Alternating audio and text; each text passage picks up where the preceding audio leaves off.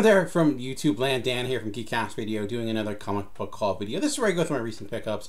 I don't do any in-depth reviews, so you have to worry about spoilers. Most of these books I actually have not read yet, so but I just like to talk about some of the books I picked up, why I picked them up, and give you a heads up on some of the books I'll probably be doing a deeper dive in that I think are worthy of discussion. It's an interesting week. It's a fifth week. Uh, although it's a fifth week, do have some some books to pick up, some books I'm a little bit hesitant on that I think were kind of put in my box because of uh, what I'm all you know, which one of those like let's throw this in your box because you are subscribed to this and we'll see. But also got some good dollar dollar finds that I'm excited about. I'm starting with Daredevil. I got picked up Daredevil 228 from the dollar bin, and actually I picked up 229 to like 232 a few weeks ago, and was perusing through and found this one. So this is again Frank Miller uh, around the board, you know the. Uh, Born Again storyline, uh, so I was excited to see it. I don't think it's it's not in great condition, um, as you can see, but it's in a pretty good condition where it's readable and uh, I'm really excited to kind of pick it up and re read through it now that I have like you know these up to like the next nine ten issues. So rather excited about that. I also picked up uh, from Captain America, Captain America number uh, 407. Uh, this is the Man and Wolf storyline, the infamous Man and Wolf storyline. Huge fan of Cable and his ridiculousness. Also love Captain America, so big reason I picked this up. I know it's kind of an infamous story uh, for good and bad. Just kind of, I miss the silliness of comics sometimes. I know that Nick Spencer kind of did this too with his run uh, on Sam Wilson. Uh, I, I didn't love Nick Spencer's run on Captain America all that much, to be honest with you. You could tell what he was trying to go for, but especially when it kind of split off into two different books with Steve Rogers and Sam Wilson. Although when Sam Wilson, Captain America, got into the uh, Secret uh, Invasion or Secret Empire, that was actually to me the best stuff he did. Actually, but then he was off the title, so who knows? But yeah, I just think Spencer's sensibilities didn't really fit the character all that well. Um, you can definitely tell like he loved this run, uh, but sometimes admiration doesn't always lead to great books. But excited to pick it up again, only a dollar. So um, I picked up another X Men book, kind of an infamous X Men book for my my childhood, X Men number twenty five. This is I, I don't think there was a book talked about more as a kid than this one uh, with, within me and my friends because this was the uh, when Wolverine gets his adamantium ripped out. Like that was like I think one of the penultimate moments within uh, uh, my fandom growing up as an X Men fan. I was people talked about this all the time. It was like that moment when you know uh, that Magneto ripped out the uh, skeleton of Wolverine, and it was a huge thing that went on for forever. Eventually, that led to the Bone Claws, and then he eventually, of course, you know, got his got a skeleton back. I actually have this issue, but I have it without this shiny little card. Uh, so it's got someone just cut it out and then so it looks kind of bad. So I figured, hey, for a dollar, I usually don't see it in dollar bins. This is, I think, I don't think it's worth much, but again, for a buck, I'll pick it up. Uh, and then I also picked up another Captain America issue. This is just Captain America 400. You know, uh, the the Galactic Storm Part 15, which is insane because I couldn't imagine anyone trying to do a 15 part story nowadays. Uh, I mean, outside of like the weekly series that they did for No Avenger, like any any any time if there's like a 15 part story, I think people would, be like, oh, that's that's too much. Anything above six issues usually or 12 issues, uh, people are, are out, uh, especially because of you know the delays that tend to happen. But to this week's comics, have don't have a huge amount of new comics this week, but some that actually a few series that are coming to end, uh, starting with Harbinger Wars number two, uh, number four, Harbinger Wars two, number four. Uh, I've been enjoying this series. It's Valiant has their uh, summer events each year, which I think are smaller in scope, so they're easy to follow, and they don't usually impact the other titles all that much. Uh, this one was a little bit more. Uh, it wasn't as welcoming to new readers as some of the other ones.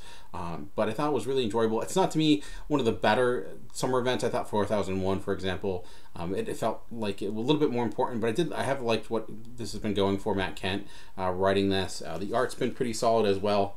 Um, but I'm excited to I'm excited to see. And now Valiant's going to be relaunching a lot of their titles again.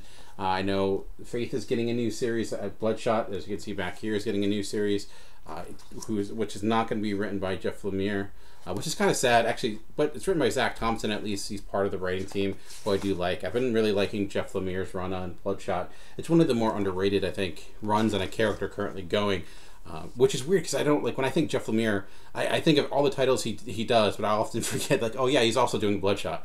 Uh, but he's been doing a lot of cool stuff with that from the Reborn to uh, Bloodshot uh, when he had the nanites gone, which I thought that was like the best run of it. Then he had Bloodshot in the Future, Bloodshot USA, like all these different mini miniseries. He's really I think done a lot with that character, so I, it makes sense that someone else is coming on because I think his story is kind of wrapping up. But uh, but yeah, so Harbinger Wars 2, and if you're, I highly advise picking up a lot of Valiant stuff. It's really good stuff. Uh, their X-O Manowar series right now, it's that relaunch two years ago, or maybe it's only been a year, uh, by Matt Kindt was fantastic. It's still been really strong as well. Uh, Ninja K, the Quantum Woody stuff uh, that's currently going. And usually with Valiant, they only put out four or five titles per month, so it's not going to break the bank if you try to stay up with their titles. And although it's a connected universe, rarely do I need to read Bloodshot to understand Ninja K. They'll connect here and there, but they don't have a lot of ongoing events um, that kind of bleed into one another, which is nice. Uh, another book I've been really loving is Isola. Isola. Uh, this is issue number five. I feel I don't know the last. I feel like this book hasn't come out in months, but I feel like with bi-weekly comics or twice a month comics, those that are actually only once a month, like the the times between feel so much longer. Uh, but this is a beautiful book. Uh, the last it was short on story, but it's really been picking that up as it's going. I still just love looking at the series. It's one to me one of the best new series of the year so far. Uh, I, I, always can connect it to Princess Mononoke um, in in both style and execution and, and storytelling. Um, but it's it's gorgeous. The colors are just popping off pop off the page. Um, so we're really excited to see uh, the, the the I don't know if you call it a magazine, but panel by panel, which is a great comic book review and analysis magazine or whatever you call it if it's only digital. Uh, that had a great uh, look into this title when it first came out. Would definitely advise picking that. It was recently not that panel by panel was recently not uh, nominated for an Eisner. I was kind of sad it didn't win, but hopefully you know they, they just see it as winning next year or something like that but it's a great it's one of the best to me one of the best examples of comic book criticism out there. Like i wish i knew half the stuff or was able to kind of break down comics nearly as good as they do. Uh, also another series coming to end is judge dredd under siege. Uh, this was the mark russell uh, judge dredd story and i've been liking this a good amount. I i preface that by saying i'm not super knowledgeable of judge dredd so i don't know how this compares to other, other Judge Dredd, but I do see a lot of Mark Russell with this, and it feels like he's flexing his muscles, trying to get to more traditional comic book storytelling at the same time doing what he does best with social commentary, uh, with uh, having kind of uh, some sort of lean where he's certainly think going beyond the traditional uh, comic book story, uh, really diving deep into really the structure of Mega City One and what it would really mean for the people that live there. So, uh, if that all interests you, this should be out in trade shortly. Like I said, it's only four issues, and what's it's good. This is ending, which is kind of sad. Uh, but Mark Russell's also going to be doing Lone Ranger. Uh, that's coming out, and I, have never cared about Lone Ranger in my life. I didn't love the movie. Uh, my dad watched this TV show. He tried to get me into it. I never could get into it. Uh, but seeing some of the preview art for that and knowing it's Mark Russell, it's like that. I've uh, actually added that to my pull list. So hopefully when that comes out, I'll also talk about that. But I'm actually do a full video on just this entire series because uh, I haven't really done on any specific ones, but it's been quite good. If you enjoyed the Dredd movie, certainly a lot of inspiration within this because it's kind of a similar idea where they're stuck in one location that they're fighting their way out uh, as well. A, a, series where I feel like I'm on a very short list of people that both read this and really enjoy it, uh, but Exiles with Exiles number seven. Uh, this is I, I, I love the Exiles since the beginning. Uh, so, and I was super excited for it to come back. And now it's been back, and I've been liking what Saladin Ahmed has been doing with it.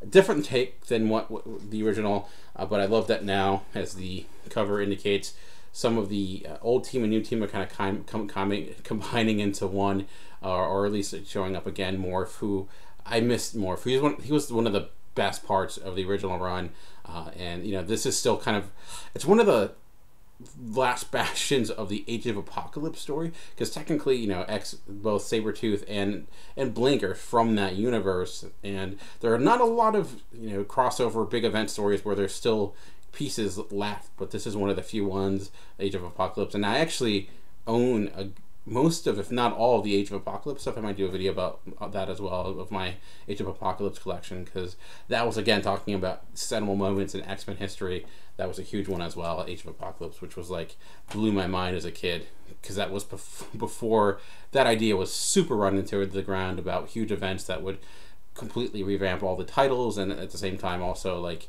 looking at more of a dystopian alternate future. Obviously, it was done before with, but to that level, to me as a kid, it was brand new. Um, I talked about some titles that were put in my box because I do collect Venom currently, and apparently this is the week of Venom because there's a lot of I don't know if it's because the movie's coming out shortly or what what whatnot, but uh, I don't know if this is Ve'Nam. I'm guessing this is how you how you pronounce it, but this is a one shot uh, by uh, this is again Donny Cates as well, but different artist on this, uh, and it's I think going into if you've been reading the Venom story, a big piece of it was actually talking about previous experiments done with symbiotes during the Vietnam War, which uh, this will be going into. So I'm excited to see uh, what what's going on here. Uh, I'm not. I wasn't. I was. I was gonna pick this up because it's only a one shot. So I'm like, oh, I'll see. And I've been like, when looking with Don, Donny Cates, the Juanan Ramirez is the artist on this. Uh, so uh, I'm excited. I'll probably do a, a fuller deep dive review on this because you know Venom's been huge lately. Uh, another, so much so that we have new we have another Venom series with Venom Final Host. This one I didn't plan on picking it up, but they put it in my box. I'm like, all right, I'll give it. I'll give the first issue a shot. Although five dollars for first issue is still a little bit much. Um, this is Mike Costa and Mark Bagley on this. I don't really know what this is about. It says the the first host, so I don't know if this is going back into way, way, way back into the lore of Venom that's kind of be reworked or what's going on. I see we have some scrolls here, so that's always cool. I'm a fan of the scrolls, so we'll see where this is going. But I don't know if this is going to be more of a throwback to like. There we go. Well, there's a Venom, ancient Venom. I don't know, but we'll we'll see. We'll see how, how this goes. This is, I believe, is a mini series. Uh, I don't know how many how many issues at this point. I'll give it one issue. If I like it enough, maybe I'll keep going. But I, I don't have huge expectations for that. Um, a book I, am growing expectations for is Extermination. I did a review in the first issue, and I, I liked it enough. I, I, wasn't, I know, blown away by it. I thought there was kind of pieces that were very reminiscent of things we've seen before. Uh, that really didn't add too much to it, but I thought a lot of the characterization was strong, and I did like some of the twists that were there. Um, but I just didn't see how it was going to separate itself all that much from previous X Men stories. I hate the criticism; it's something we've seen before because I feel like you can throw that out too much. But when you're clearly like making connections to past stories, I think it's important. It's only the first issue, so and this is being the second one, but I, I do like where it could potentially go. So that's why I'm keeping with and going to read issue number two. Um, and you know uh, this is supposed to be leading into the eventual uncanny x-men weekly series that's happening in november.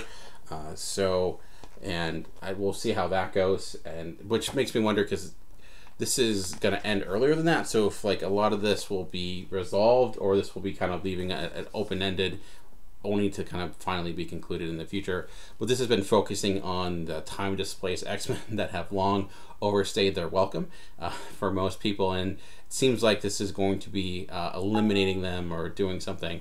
Uh, we'll see, but well, I, I do like the fact that you know it looks like Ahab is at least one of the major villains, who's a villain that doesn't always kind of pop up. I'm glad it's not Apocalypse or Sinister as of as of yet. So I'm glad when they kind of kind of mix it up a little bit. Uh, and lastly, the book I am most excited about, uh, and I'm kind of sad this series is coming to end, was this Ed Piskor's X Men Grand Design. This is Second Genesis, issue number two. Uh, and this series has been it's just phenomenal. Uh, and it's what it is, it's basically Ed Piskor telling the history of the X Men uh, in a very condensed way, but that is still somehow a complete story and doing it in his style um, that he kind of did for the Hip Hop Family Tree uh, books back in the day. Um, I'm kind of. Oh, actually, no, there's another one. See, look at that. The next extinction begins in 2019. So it keeps going. So I was incorrect. I'm happy that it's keep going. I get, I kind of hope he does this for the Avengers too, because I'd like to see that go on. I mean, the X Men, of course, have have all the history, but one of the best parts too is just how he links to all the stories to different events that have happened. It's just the amount of just research this had to take and within itself is like this a, a lot of time and effort and i'm actually really happy that marvel it seems like just said hey do your thing and they he did it and it's really great from the paper design to the look of it. It's it's everything you know I would expect from an Ed, Ed Piskor book, and I'm glad that Marvel's kind of like giving indie creators like him.